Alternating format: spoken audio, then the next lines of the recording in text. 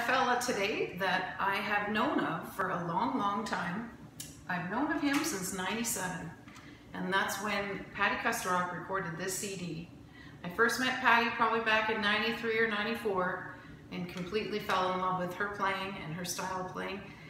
And uh, she's a wonderful person who lives in, in Winnipeg, Manitoba. I learned every single tune off this CD.